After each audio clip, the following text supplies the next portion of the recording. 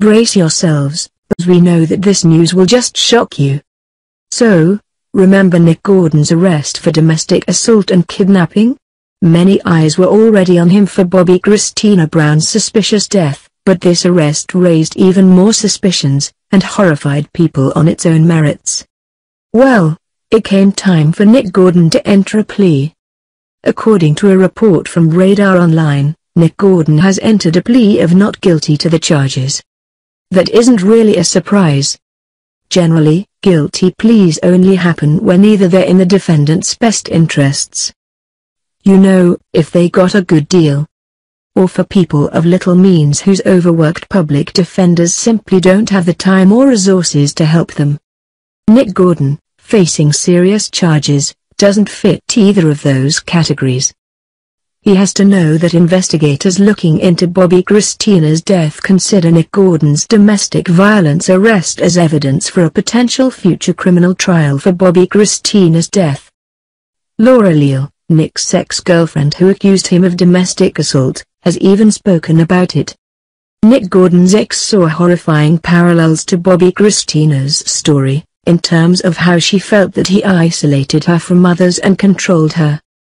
Laura Leal described how Nick Gordon allegedly lashed out with violence and then apologized, and how he made her feel that she was at fault. Which is just, you know, classic for cases of partner abuse. The final incident, as Laura Leal describes it, was of Nick Gordon holding her down on the bed and punching her repeatedly. She describes how her face was bloody and how she was at the risk of losing consciousness.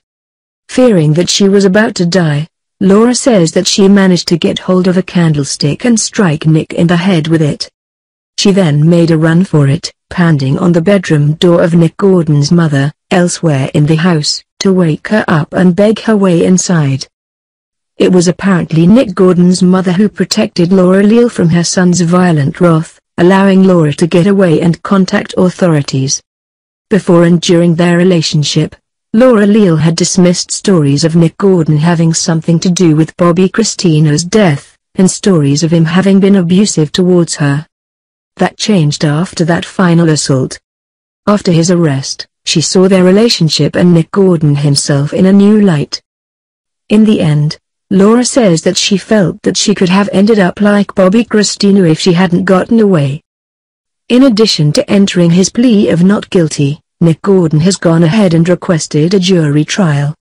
Generally speaking, it isn't uncommon for abusers to believe that they will be able to charm jurors as easily as they charmed their victims in the first place.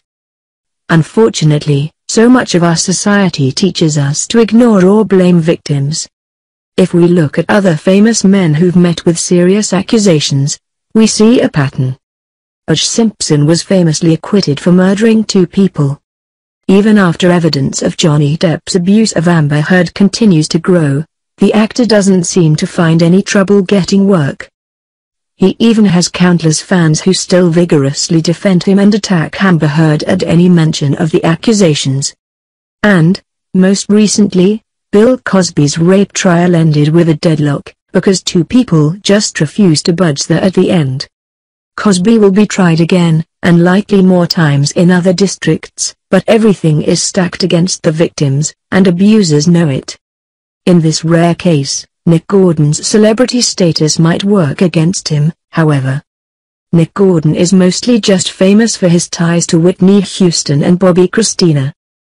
In fact, Infamous is a better word for Nick Gordon.